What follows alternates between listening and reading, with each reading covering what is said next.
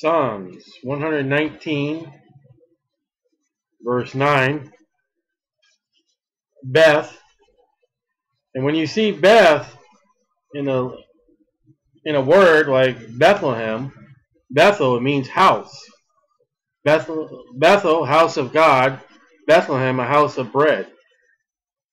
As we pick up verses 9 through 16, we're picking up on cleansing by the word.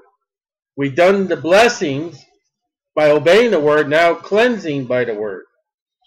And Jesus Christ in John chapter 1 is the word. Wherewithal shall a young man cleanse his way?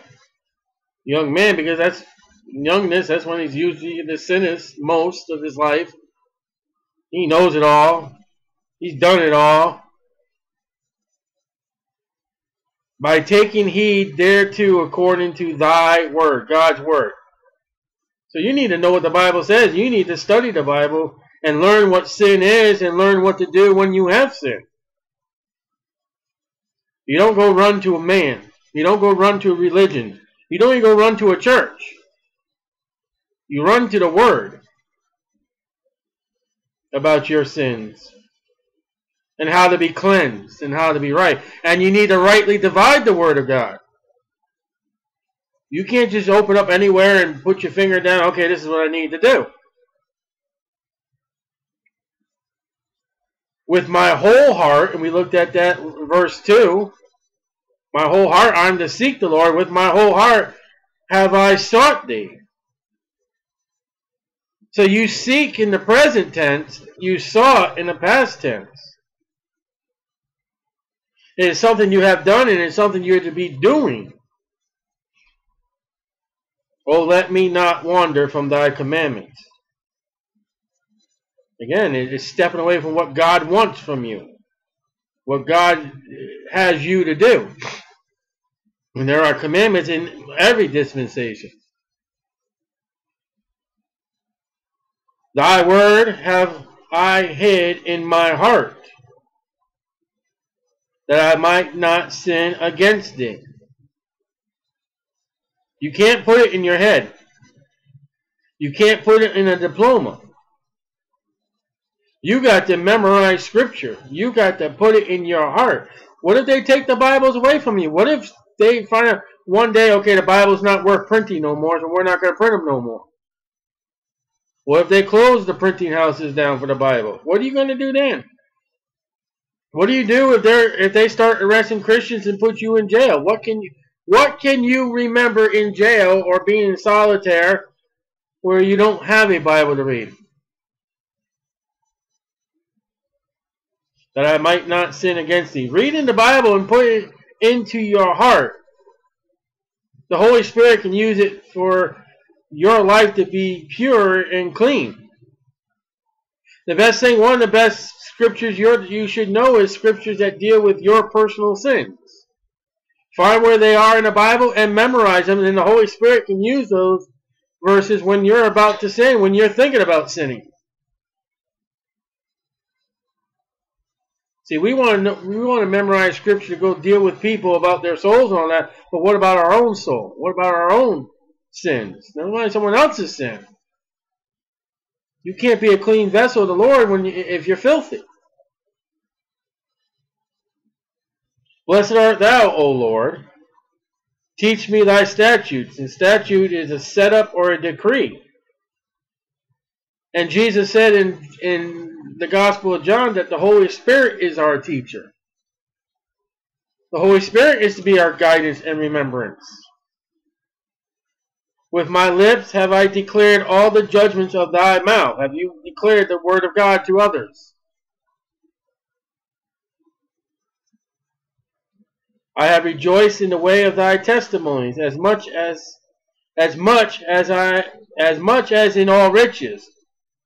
Does God give you greater joy than winning a lottery or winning something or a, a stuffed animal or getting a paycheck? Is God your ultimate rejoicement? After all, the paycheck or whatever it is came from God anyway. I will meditate, think on, prayer upon, in thy precepts. It's a command or order to morale. And have respect unto thy ways. Verse 15 is a hard verse for the world today. Because children have no idea what the word respect means. People have no respect for their elderly or women. When this woman, when this woman's rights came into be, the women took a stand and the man sat down. That's not how it ought to be. You don't honor the old, the aged, like you should. You don't honor the, the warriors or the soldiers like you should. There's no respect.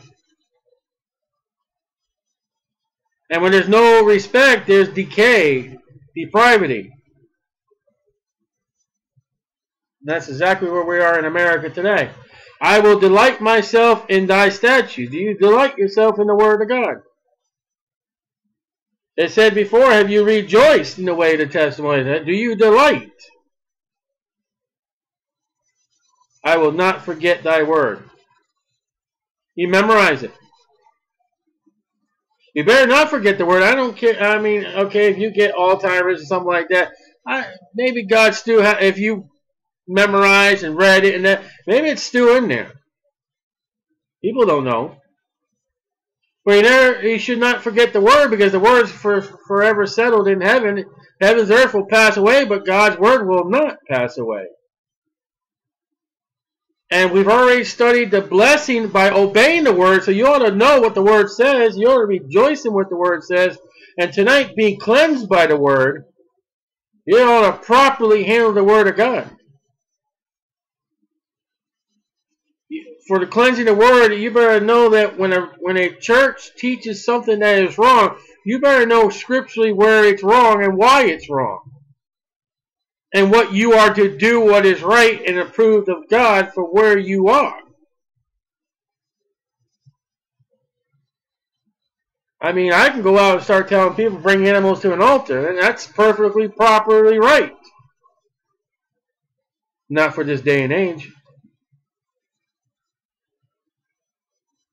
It was right for one group of people, is not right for, for us in the church age. Now it's going to happen again the animal sacrifices.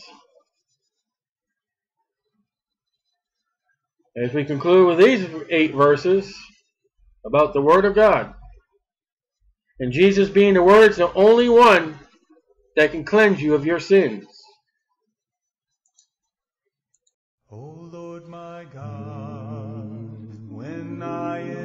Awesome wonder consider all the worlds thy hands have made.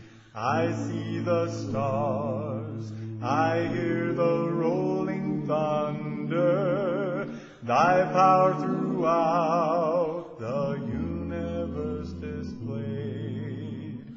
Then sings my soul, my Savior God to thee, how great thou art, how great thou art.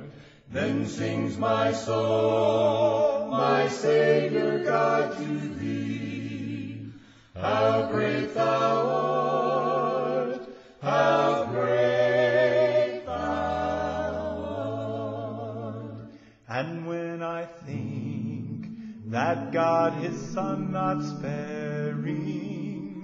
sent him to die, I scarce can take it in. That on the cross, my burden gladly bearing, he bled and died to take away my sin. Then sings my soul, my Savior God to thee, how great thou art, how great thou art. Then sings my soul, my Savior God